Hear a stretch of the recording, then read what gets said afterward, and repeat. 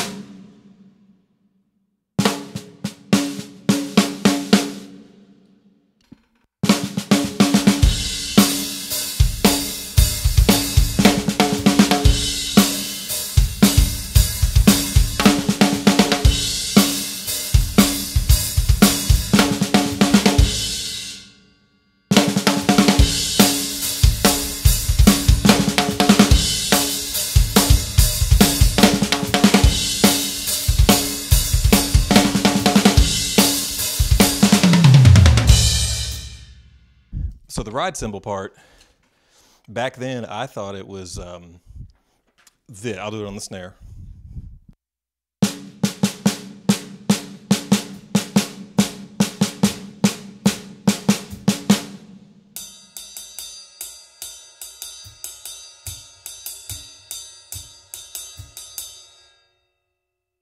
Turns out, uh, once I listened to couple things slower and then uh, found the drums only of you uh, of y, YZ on YouTube, dude, that was I wish I would have had that 40 years ago. Um, but I realized he only did the first two notes on the first 16th, so it was.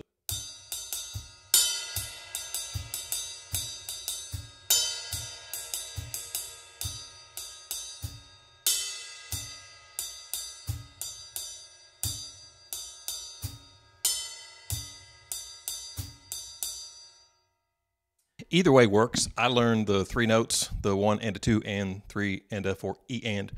Um, kick drum pretty much does what the right hand does for the most part, not everything. And um, and I noticed it till probably within the last five or ten years that he accents pretty heavily the and of two.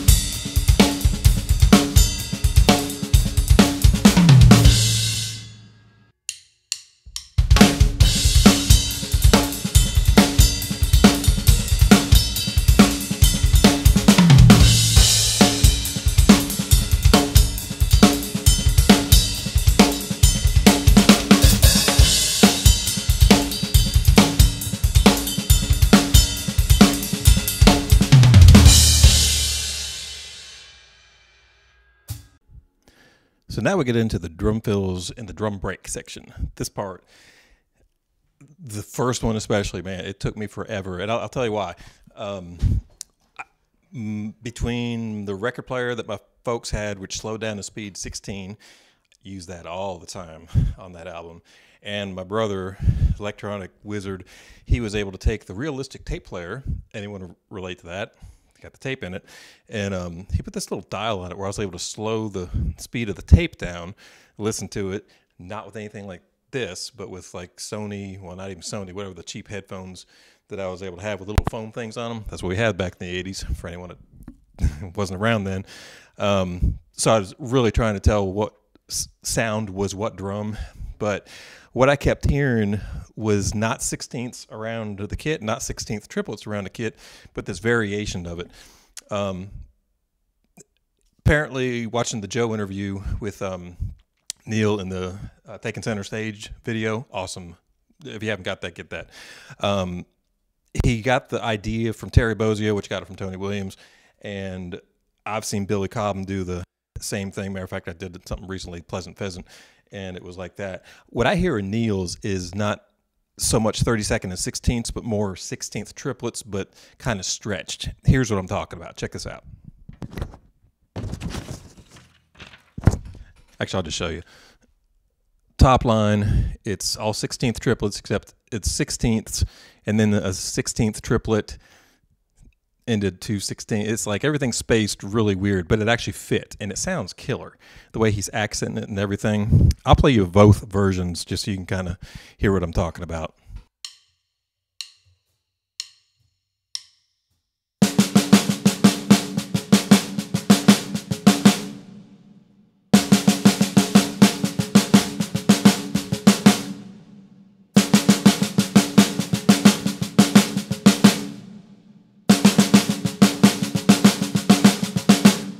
That's what I'm hearing is like this stretch 16 type thing. And I'll do it on the toms too.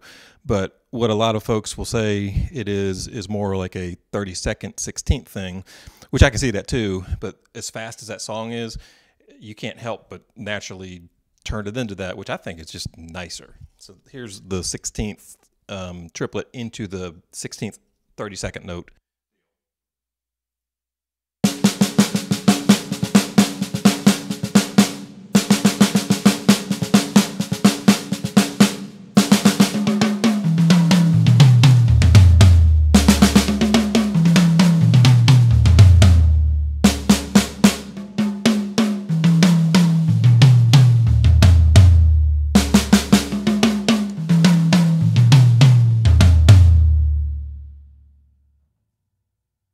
And then here's how I do it with the 32nd or the 16th triplet vibe on the toms. So each one is doing like a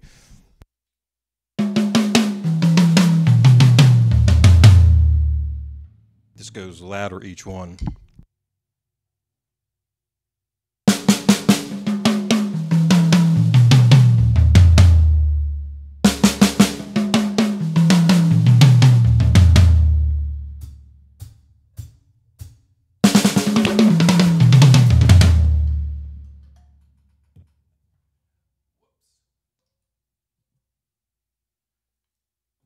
First time that ever happened.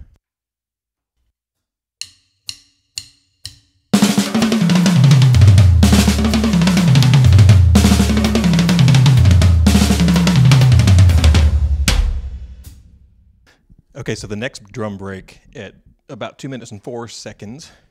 It's not as hard as the first one, in my opinion, but it's still not easy. It's 16th note triplets on the snare, and then his 12 inch tom, which is where my 8 inch tom is.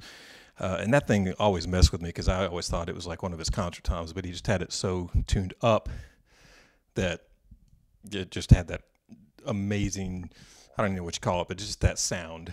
So, but anyway, so he does beats one and two or 16th triplets, snare, and the 12 inch tom in his case, then 16ths, and he brings on the end of three uh, a snare hit, and then hits the floor tom on beat four, and the he's he did this a lot. He hit the E, crashed on the E of the beat. He did a lot of fills like that, where he would just do da da da da da da da da da da, and several times in this song. So anyway, here's that fill, slowed down, sped up, and I'm starting on the snare.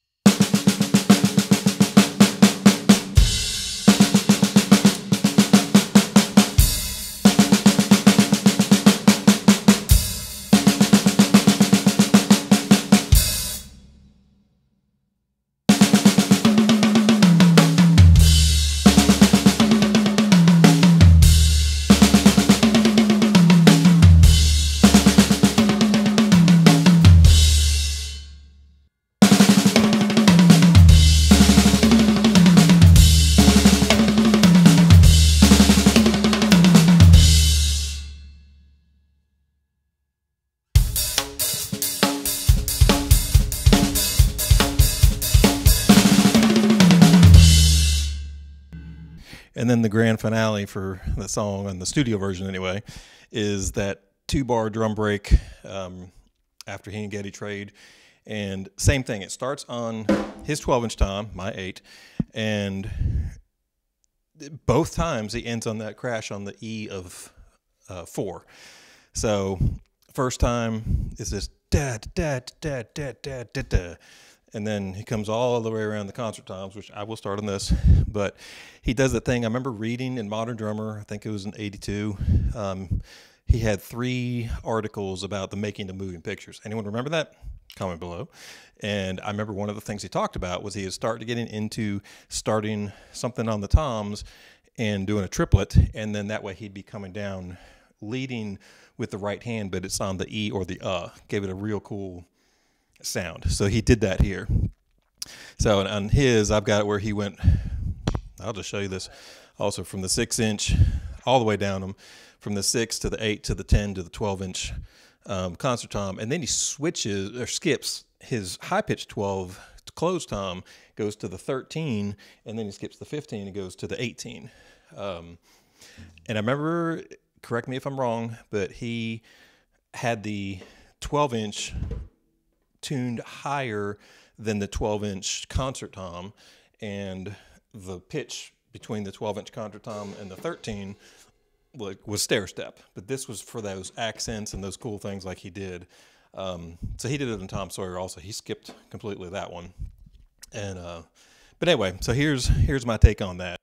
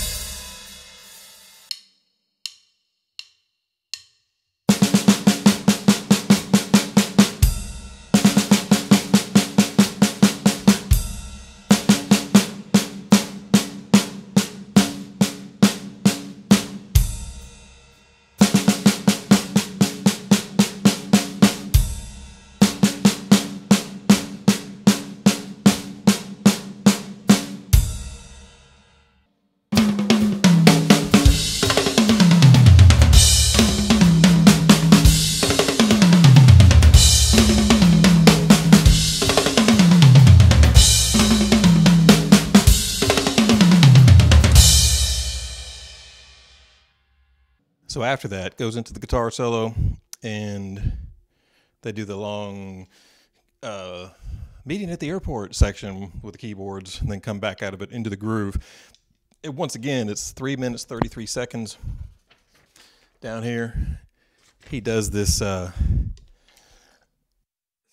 same thing. He goes over the bar line instead of just um, doing this fill on the fourth bar of the phrase he does that and then he comes out of it on beats one and two, ends on the uh of two in the next phrase, which is just totally killing, man. I mean, he was on top of his game back here.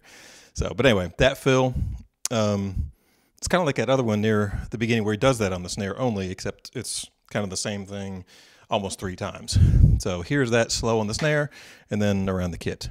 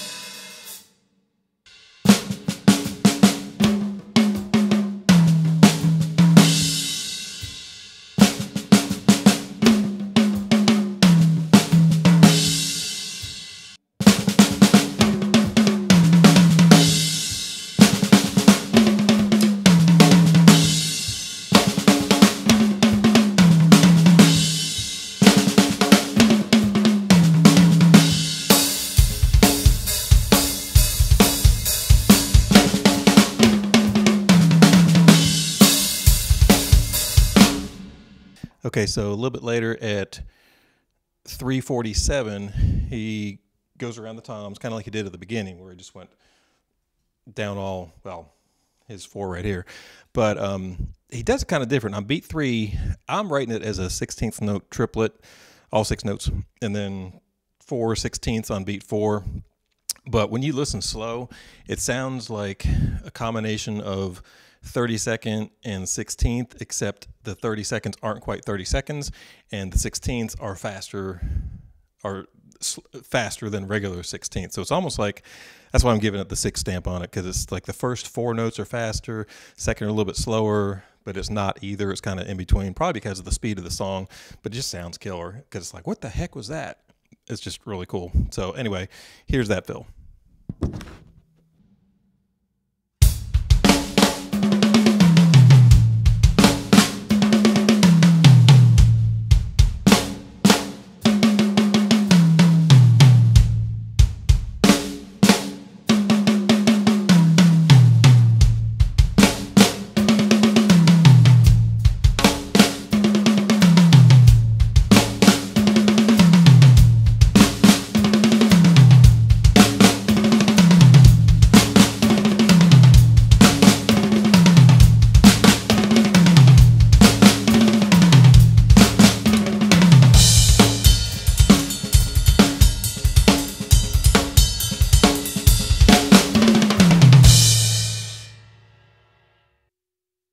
So for the last fill of the entire thing, um, I'm going to say it's the same concept as the fill for the first drum break with that 16th note triplet type vibe, but a lot of guys have written out the 30 second 16th thing. So I'll do both.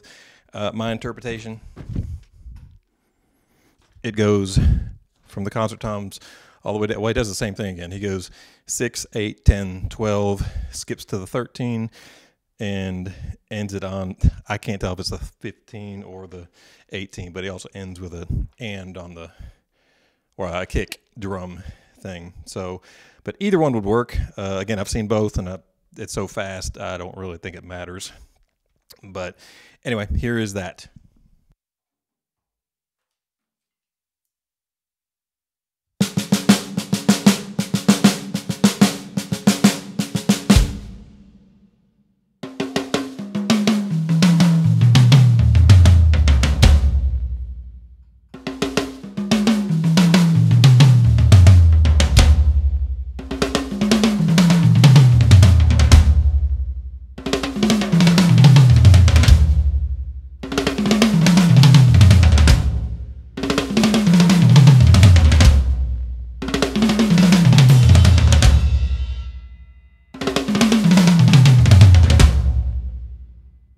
So anyway, so there's my interpretation of what I hear Neil doing, how I play it. Again, you can play either way. You can let me know if you think it is more 30 seconds or 16ths on some of those fills like at the end or the stretched triplet type thing. I think either way is genius. So um, anyway, I'll play uh, YYZ out for you, part of it.